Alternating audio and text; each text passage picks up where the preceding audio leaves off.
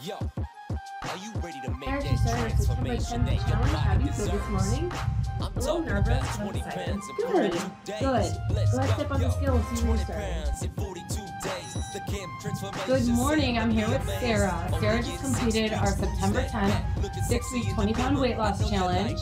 How are you feeling this morning, Sarah? Nervous, I'm excited, evidence and I'm ready to see. have Put your money where your Awesome. Sarah's goal is to get down to Watch your body transform like 215.9. magic. We're gonna have her step on the scale and Camp see how she did. Transformation Center. Sign up Oh, now. And don't be a yes. stranger. Woo, by the- fucking funeral is coming. Shedding that weight. Yeah, I know you want it. Get in shape.